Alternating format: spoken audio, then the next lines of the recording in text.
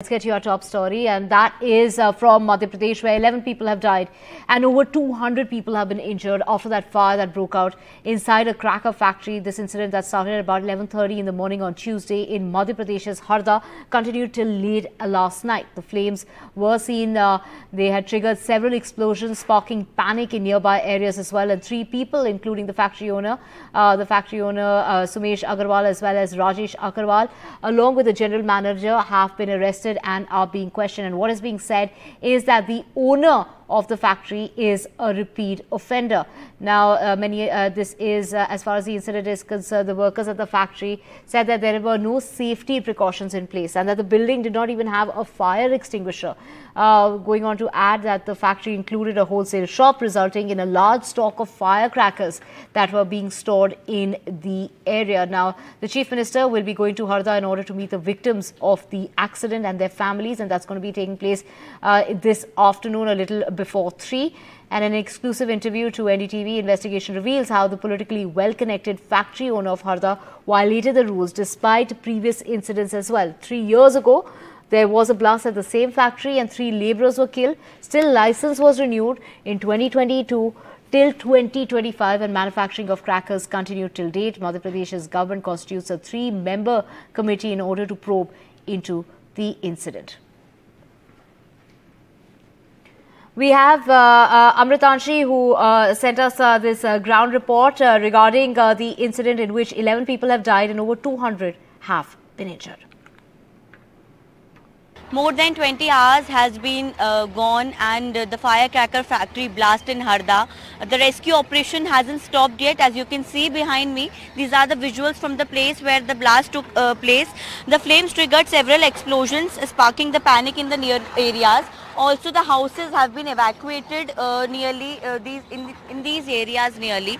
And the NDRF and the SDRF are uh, constantly being there from uh, last many hours and they are constantly uh, uh, clearing the debris mainly. The fire brigades and the JCBs the Poclains have been installed since hours, hours yes. The injured have been rushed to the hospital. Around 11 casualties were caused in this place basically. And also the intense intensity of the blast was such that people in the adjoining Seoni Malwa area uh, in the Nar Narmadapuram district were also affected uh, by this.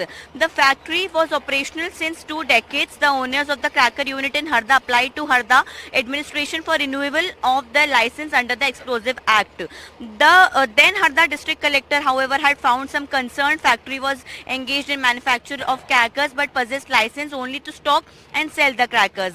Uh, with the factory operating in the violation of Explosive Act rules, the factory was sealed out and continued to be non-operational at least till August 2018. In 2018 and 19, the factory started operating again and it got its stocking and sale license renewed uh, till 2022. Uh, right now, the three people, the owners of the factory, have been arrested uh, in the Sarangpur. Uh, uh, in the Sarangpur, uh, also they have been brought to Harda and handed over to the Harda police.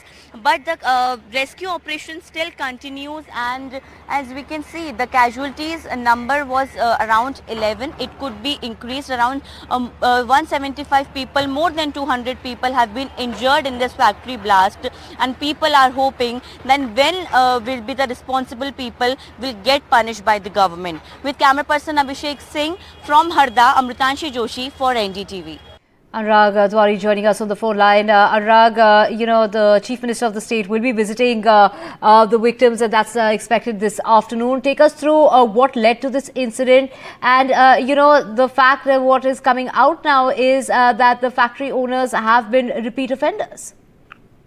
Yes, Divya. see, Harda is a pocket borough of five times former BJP MLA and Minister Kamal Patel.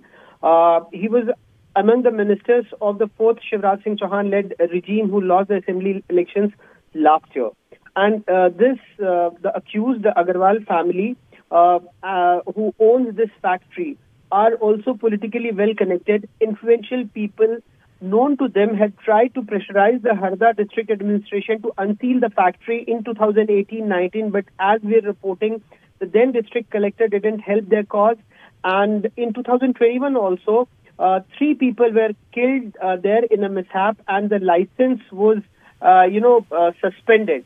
But in 2022, uh, the license was renewed and till 2025 and the manufacturing of crackers continued till date. But still, they don't have the license to manufacture the crackers. They just have the license to stock and sell the crackers. But few of the officials who visited the site also told NDTV uh, that uh, you know the factory which was engaged in manufacturing of crackers, uh, uh they also built few houses for the workers, which is in complete violation of the safety norms pertaining to such units. And it was those houses particularly which bore the brunt of the killer impact of the blast fire on Tuesday. Right. Uh, thank you so much, Anurag, for getting us all those uh, details.